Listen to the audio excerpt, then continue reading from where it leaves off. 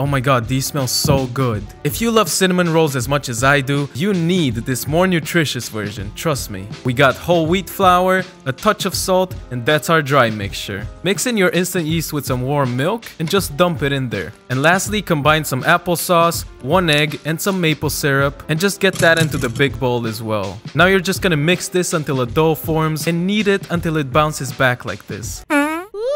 And now you gotta let it rise for about an hour. When that's done, get it out and roll it into a big rectangle. For the filling, you're gonna use some dates, because that's the only kind of dates you can get. Just kidding. Soak them into hot water for a few minutes, add a ton of cinnamon, and just blend them up. Taste it to make sure it's not poison, and simply spread this sticky stuff all over your dough. Roll it up nicely and slice it into big pieces like this. Get them in a tray and proof for 45 minutes, I know, a lot of time. Then brush them up with some milk, bake them for 25 minutes, and they're done.